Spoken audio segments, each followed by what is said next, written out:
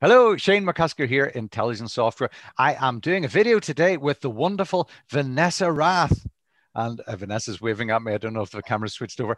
Uh, we're doing a, a, series of blogs uh, on my website uh, looking at data privacy.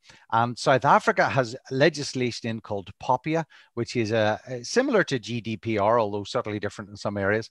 And it's currently in a transition period and is fully enforceable from uh, the middle of this year, 2021. So, Vanessa, how are you today? I'm good. I'm good. It's a Friday, so I'm happy and I'm really excited to talk about this topic. So, just to kind of set the scene, uh, Shane and I chat often, and he actually said to me, Van, I want to set up a conversation with you around the POPI Act. And I said, Well, I'm probably not the right person to be speaking to because I haven't done a lot of research into it yet and I'm not really clued up. So, we thought, let's actually set up a conversation where we can find out what the word is on the streets about POPI and what we really should be doing. So, we've got the expert Shane here. I'm going to pick his brain on your behalf. So, um, Shane, can I start with my first question? Oh yeah, work away. Excellent. I'm not an so, expert, by the way. Just, just let's get that straight. I'm not an expert. I, I develop intelligence software, and two and a half years ago, we went through the joys of GDPR with our clients there. Now we're doing it again with Popia, and it's really important. I have a passion for this area. So yeah, absolutely. What can I do, Vanessa? Excellent. So, so, so as most of you know, um, I'm a talent sourcing trainer, and I train people all over the world. And I often knock heads against GDPR in the UK and my European clients.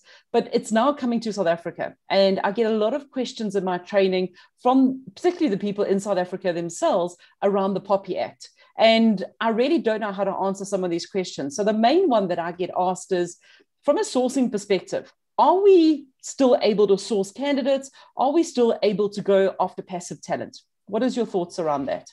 Yes, absolutely. Absolutely. Brilliant. This so is, I'm still going to have a job. Thank you. Yeah, you are indeed. You are indeed. Uh, we, we saw this in, in, in GDPR, exactly the same scenario. And the, the, the issue that you're really getting to is that to store people's data, they need to be aware that you, you store their data, they need to have some level of control. And you need to have a reason to store their data as well. Uh, and yeah, I can talk about that if you want me to. Some people talk about compliance, which I don't like, and I'll explain why. The issue you have is when somebody is not an applicant, but they are somebody that you find either through mm. word of hmm. mouth or through a job board or through LinkedIn or, or, or through other sourcing channels. How do you have a purpose, a legitimate purpose for storing their data under privacy legislation. Whether so, so let me stop you there because I'm not a storer of data. Okay, I'm looking for people. I'm looking for their information. I'm looking for their contact details. However, I find those contact details more than likely using a Chrome extension. What is the definition of storing?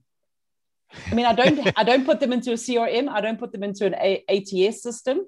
Um, okay. If anything, I would put them onto a spreadsheet and deliver my sourcing services to a client. Is that classed as storing? Yes, uh, it's okay. it's an electronic format. So spreadsheets, okay. yes, uh, absolutely. Okay. Popia is is and GDPR look at, at electronic storage of data. Um, so yeah, if you if you if you have stuff stored in your head, that doesn't count in terms of in terms of the acts and legislation. Uh, it's also, if you store stuff in your head, quite secure as well. Um, so I mean, think think about.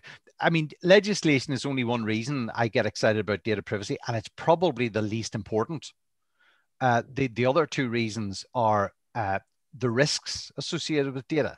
Because if you have data, and and something happens, you know, it gets used for the wrong purpose. You get hacked even if you don't know if that data has been accessed, you've got a huge problem because you're responsible. And, and if that information is used against you in some way, shape, or form, that can destroy your business.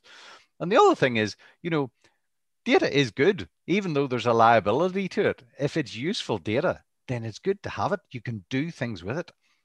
And, and the, the, the moral of the, of the, the legislation says, you know, if you've got data, use it you know, have a reason for having it, have a purpose, and then do that. And if you do that, okay. then then you're you're in line with data privacy. So yeah, if you've got source data, you can absolutely keep it and use it for the purpose. No. Okay, so so let me can I paint a, a scenario for you yeah. then? Okay, so I'm sourcing. Uh, um, I find a candidate on one of the tech sites. Okay, let's say it's Kaggle. And I get the person's email address off that website. And I send them an email. They're not on the market, completely passive talent.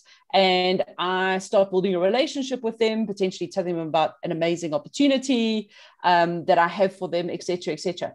Do I need to inform that candidate how I got their email address? Yes and no. You, you, well, first of all, I'm I'm not a, I'm not an expert in terms of the legislation, so I'm going to caveat right. So uh, yes and no. Uh, the answer the answer is that you need there's a level of openness. There's a requirement for openness with regards to you know what you do and how you operate. So if you're doing something that's a, a bit underhand or whatever it is then then you could you could have issues there. Where did you get the data from? You know but what you're talking about is getting data from from public sources. And uh, cross-referencing that. You, you might find somebody on Twitter and then cross-reference it to to to to LinkedIn and then realize, oh well, we can find this person on a job board and that's how you get their contact details, or you use a Chrome extension or you use whatever. You know, mm-hmm. I mean that's complicated. You, you, you don't does, does, does the person you're contacting need to have that detail? I wouldn't hide it from them, but I don't necessarily need to go into it. That's the what thing, I'm thinking, because I mean, that could be three paragraphs worth of um, me explaining exactly. how I source, and exactly. people really don't care about that.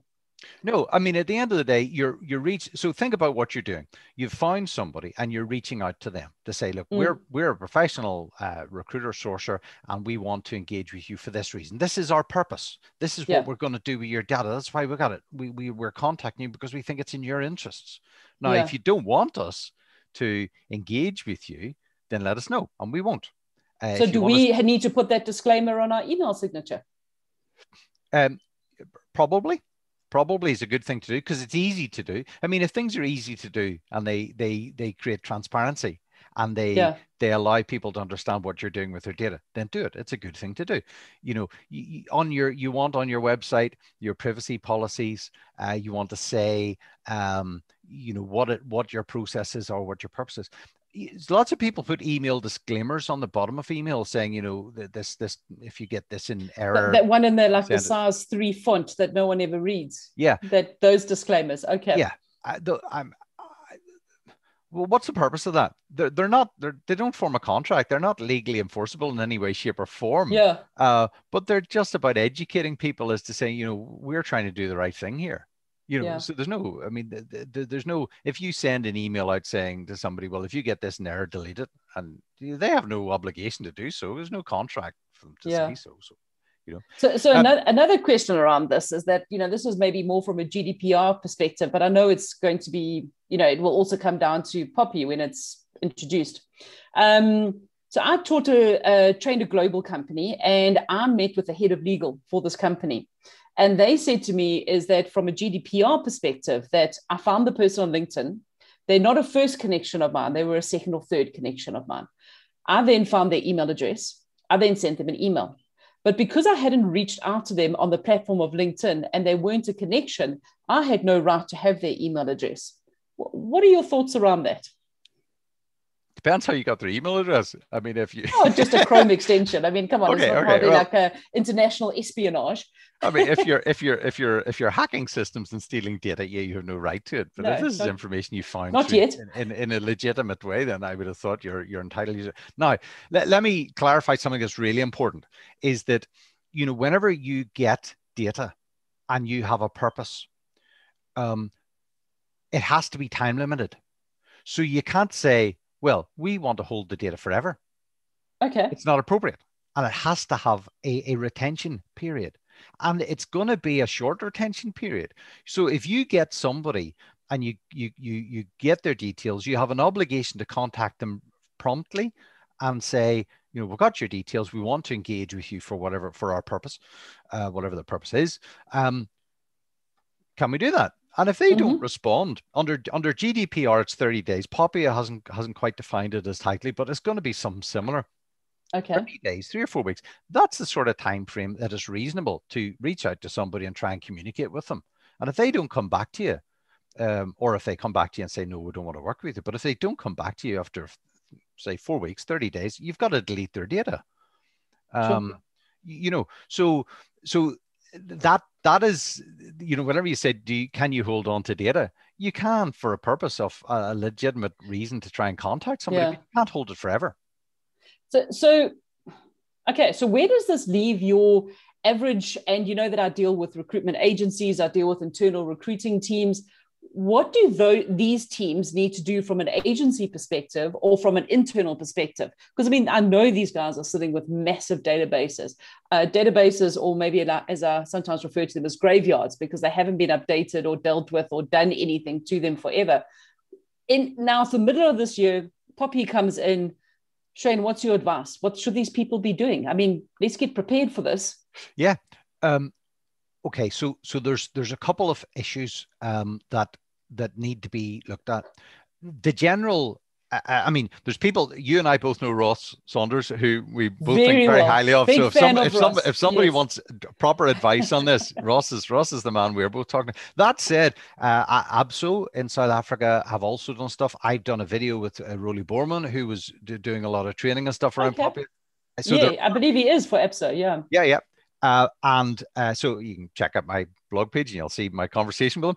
Some of that I, I disagree with, uh, and really with with respect to Roly, and I did raise this with him, uh, and it's in my blog why I I have different opinions on it because you know bear in mind that this is POPI is new legislation. People don't really know how it's going to work in practice. Yeah, and that's why I presume there's these disagreements happening because we just don't know. Yeah, I mean, I was lucky having gone through GDPR, and I'm going to assume that the way GDPR sort of landed, POPI is going to do something similar, uh, and so I can draw parallels there.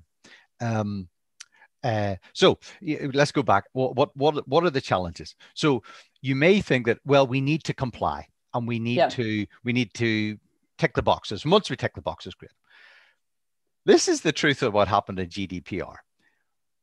Everybody that I spoke to generally had the view of, oh, this legislation's coming in. What? How do we work around it? How do we prevent it stopping us doing what we want loophole? to do? Where are the loopholes? What's the least we can do to tick the box that we've complied? Yeah. And between you and me, I suspect the same is going to happen with POPIA. Totally. And, and South Africans and, will always find a loophole. And POPIA doesn't have the teeth that GDPR has. The fines aren't there in the same way. And uh, GDPR, I mean, nobody's come knocking on on on on a lot of doors with regard to um, enforcing GDPR. What happens with GDPR, and the, the, the reason that people get into trouble with it uh, is because the Information Commission has to investigate. I suspect it'll be the same with POPIA. And the okay. trigger and the trigger for that, wait to hear this one, Vanessa. The trigger for that is almost certainly the people who who are being investigated are the ones that report because there's a there's a hmm. reporting aspect of, of GDPR as there is with POPI. POPI is looser than GDPR. Um, you've got 70. So what do you have to report on? Oh, if you think you have a data breach, you have to report it. Oh, okay. And therefore, the information commissioner has has an obligation to some extent to investigate it. So you basically uh, that, are reporting uh, yourself. Now there, there there are caveats. On, yeah, exactly. There are caveats that in terms of the seriousness of the issue and all the rest of it, in terms of your your comments report. So that's probably what's going to happen. Um, however, let's get let's go back. Let's go back to, to actually the question you asked way back when, and I, am going to repeat what this. Do, what do agencies and internal teams need to do to get ready? Like, okay. so we now what where are we? We're sitting in early Feb. Okay, so there's there's getting ready, and after getting ready, there's actually running a business that is going to be data privacy aware. I've uh-huh. been using the phrase embracing data privacy. So to get ready, loving it, you, you need to you, to get ready. You need to work out what it is you're doing. You need to work out what your what data you've got, what data you need, what is your purpose for the data. Mm-hmm. Okay, and the purpose gives you, you know, it answers lots of questions you're going to ask get asked when you do these audits. You know, what is your purpose for holding data? Uh, if you start talking about compliance, um, I think you're going to have a problem uh, and and also I think for most recruiters it's not appropriate. So compliance is there for if you were a marketeer, you ask people, do I have your con- oh, sorry not compliance consent? Do you have your consent to send you emails out, marketing literature? So so I remember the night before GDPR came into play, my inbox was suddenly full of a whole yeah. lot of consent emails. Yeah, yeah. And it literally was people you'd never heard 50, of yeah, had your exactly. data and yeah. now they were asking your consent to send you yeah, like, marketing information. Yeah. Yeah. Um, right. Consent is fine if you're a marketeer because consent is a one way street with regard to a contract. In other words, you give me consent for me to send you stuff, but there's no obligation on me to send you stuff. Okay. So there's, mm-hmm. no, there's no contract there in two, a two-way street. But that's not really how recruiters work. Recruiters uh, operate um, on a more two-way contractual basis. In other words, you give me your data, and in return, I will provide recruitment services to you. Okay. But there's obligations on you as well. The data you give me has to be up to date and it has to be accurate. And if it's not, then don't expect me to provide recruitment services. You need to take my phone call when I ring you up for a legitimate reason. You know, these these are the contracts. Yeah. And in return, I will look for jobs for you. I will I will compare your mm-hmm. data against the jobs that I have. I will keep your data up to date. I will operate in a professional manner. Okay. Uh, you can talk to you look at APSO and the ethics and all the rest of it being a recruiter. So there is a contract mm-hmm. there. So in actual fact, what what I believe, is my opinion, which is no standing whatsoever from a legal point of view, is that you your purpose is to provide recruitment services. And yeah under that contract, you have you, you you can legitimately store data on your data subjects. For how long? Whilst you're providing the service that you're providing. Whilst you're providing okay. recruitment services. So okay. think about your provision of recruitment services. Your recruitment if you update their, their data from, from LinkedIn, that's provision of recruitment services. If you reach out to them and say, We've got a job, if you even just search their data against jobs, you're providing recruitment services. Okay, so, so, that would that would be brilliant from an agency perspective. I mean, that's that's very clear. What how does this affect an internal team? Um, depends on what the internal team do, and it depends so, on, on, so so yes. If, if from an agency, and I deal mainly with agencies, you're providing an ongoing service. Mm-hmm. For a, a a corporate or, or indeed an agency where, where the applicant is a very specific application. It's, it's an application for one particular role and, and the, uh, and, and they do, the person does not want to engage in future uh, recruitment services, ongoing recruitment services. Well, they, think about it. You're, you've got a purpose. So you need to retain the data for the duration appropriate for that purpose. Okay. But you say, say you have uh, again agency model. You somebody applies and you forward them for a job to your client. And you do, you do not want to work with the, the candidate again for whatever reason or, or it's not appropriate to. Some of your data you don't need anymore. Like their cv some of yeah. it you do need because it, it reflects your relationship with your client. So you got to keep the stuff that's related to the client. So if you think about all this, this this moves into sure. Uh, away from uh, your your question about what you need to do to to get to the the cross the yeah. threshold of you know this is now I'm talking about well how are you going to maintain a data privacy approach? Yeah. So you know so and it comes across as retention policies and yeah. then what you what you're going to do to delete data. So you know with any when any uh, recruitment agency say you will have multiple recruitment retention policies you've got your sourced candidates and you want to get rid of them within 30 days if they don't come back to you to say they want your service. So they need to come out of your ATS system. You need to delete them. Yeah. Yeah. Okay. Del- delete uh, to delete their personal data. Okay. So there's okay. a par- partial deletion. You've got people that um, uh, are agreeing to ongoing recruitment services. So you're going to keep them for for a period of time until you stop providing those services. You've got people. Is that, to to the candidate? Yes. Okay. Yeah. So the so candidate the candidate turns around and says, "Thank you so much for your help, Vanessa, but I have found another job. You got to delete them." No, uh, but because the, it, they they may be saying, "But that's okay. You can keep me on the database and and keep me informed of other opportunities. That's fine." If they turn around and say, "Vanessa, I'm retiring. I don't want to be okay. to be involved in the job market anymore." Um, yeah then then absolutely delete them because they it's not appropriate to provide recruitment services to somebody who's not ever going to take a job or if they exactly. em- emigrate and, and, and leave the country yeah. early, or even if you you work in, in Johannesburg and they move to Cape Town, you don't do any work in Cape Town, then what's the point in having them on their on your database? You know, get get rid of them. So, so, so you'd actually need a, a, a very smart way to, I don't know, you'd almost need like a mailer to go out to your entire database to get a status update. Yeah, yeah. Mm.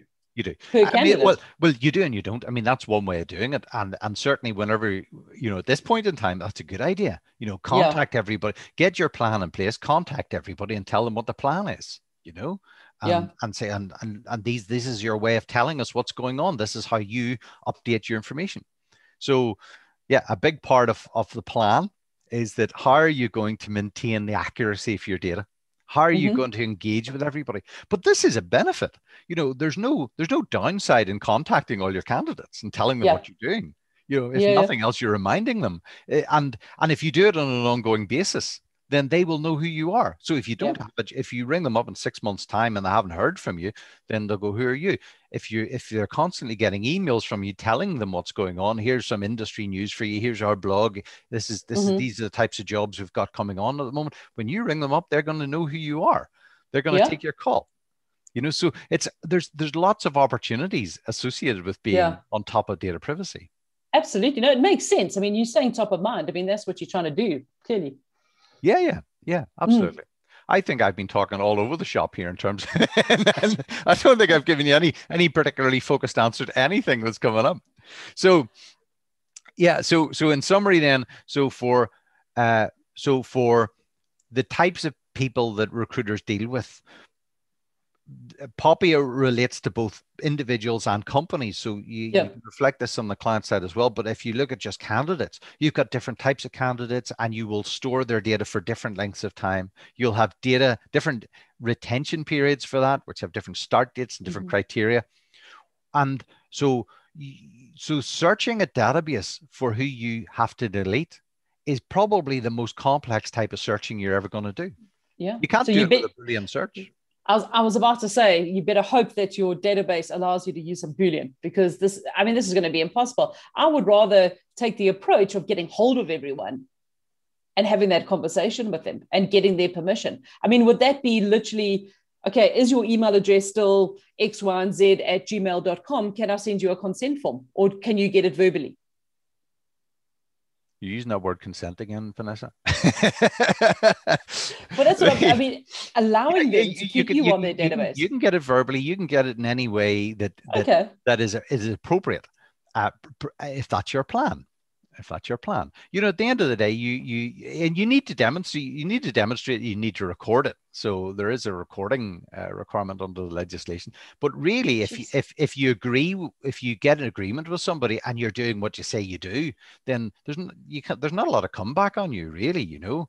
Um, uh, so you know, it's about having a plan and doing it right. Yeah. So yeah. So um. So there we go. Well, we uh, so is there anything else there that that that, that you know, I mean, in terms of the the difficulties of of getting across the line with this and getting yourself set up and getting your plan in place and then operating your plan on an ongoing basis mm. are the are the are the two stumbling blocks. But if you do it right, there's lots of great opportunities for you. Okay. So, so there's, it's not something that people need to be particularly nervous about. I mean, what I'm hearing is that sure, you're going to might have to change certain things. You might have to get in contact with your your candidates, etc., etc. But it's good because you're going to be staying top of mind, and they're going to remember you. You can start opening conversations again, find out where they're at, and basically just clean up your data. I mean, dirty data is just useless, isn't it?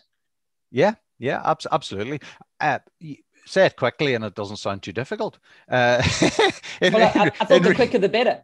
well, in, in reality, I mean, we're dealing with customers who have hundreds of thousands of candidates. I mean, that's not a job for a manual. That's not a manual. Pro, you need a process to be able to to do that, and yeah. you need a process that that is so simple it won't take up any of your time you can't you you know because the work i mean tidying up data is not the most profitable activity an organization is ever going to engage oh, no. in you know it's the, it's the it's the it's the resultant of that is is where you work smarter and more effectively and make more mm. placements. But, but also, if you've got if you've got all of these processes set up in place, and I'm literally thinking down to the right fields in place on a some kind of an electronic software CRM ATS, then it shouldn't actually be too difficult. So for me, it's actually taking a step back and saying, okay, is our system going to do this for us? Or do we need to get a system that is going to do it for us? Because as you say, you don't want to be wasting man hours on these kind of activities when you know they're coming into play, you know how to deal with them, get the right software to make your life easier. It's a no brainer.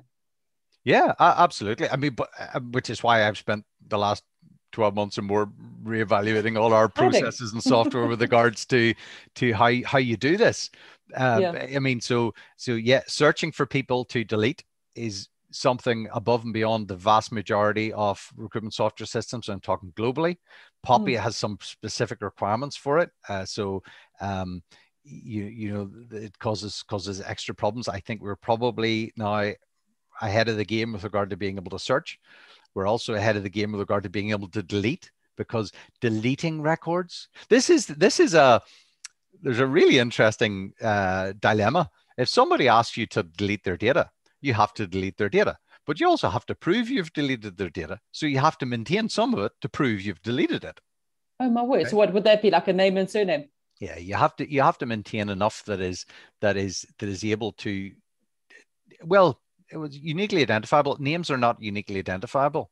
So I mean, not in what, South Africa anyway. No, uh, no uh, uh, nowhere, nowhere. Um, particularly with big databases. So yeah, you need to maintain enough that you you can you can work out what you've done, but you want to delete all the sensitive stuff, CV information, um, is, is the most sensitive stuff or employment information, mo- salary the, information. Uh, the most unique sort of thing to a South African, I would say, is our ID numbers, because I mean, that's unique to each individual. So that would potentially be something that, you know, you'd need to consider. Yeah, if you have it. So, so I mean, bear in mind that you, you've, you've, you know, if you're if you're pulling people in from LinkedIn, you don't have a an ID number. You know, no. so you've you've got to have enough information. But then you, would uniquely identify people uh, across a number of different ways. I would think. Absolutely. But then we get down back to the argument that we were talking about right at the beginning the difference between the applicant and the candidate, which is, you know, depends whether the agency is more focused on applicants or whether they're more progressive and thinking candidates. Yeah. Source yeah. talent as opposed to people that have applied. I don't know. Yeah. I think I think so, different so, people are going to work in different ways. So we'll have different different sorts of data. Um, yeah, absolutely. There, are, there are plenty of yeah. recruiters and agencies who do not source data. Everything's yep. an applicant. Yep. And they they have different problems than somebody. Well, there's somebody who's who adds in sourced candidates on top of that has an has another layer of complexity because of the fact they need to convert those people into people that have agreed some yeah. contractual basis or or consented to you having their data. Otherwise, you've got to get rid of it and get rid of it fairly quickly. yeah. yeah. So, so interesting. Yeah, it's a, it's a real a real challenge, and uh, you know, I mean, something I've been working really hard on to look at how we can facilitate our clients implementing systems that can do this stuff really well.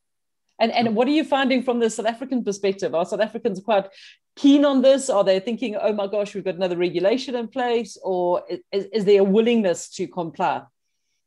Um, whether they're willing or not, they have to.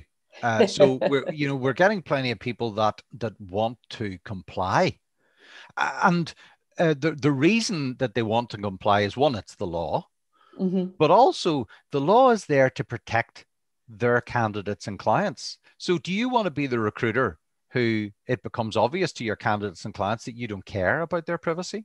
Yeah. No no no one wants to be that person. No. So so you know yeah. i mean it's it's not just legislation that that is there for fun. You know it's there's real risks to it.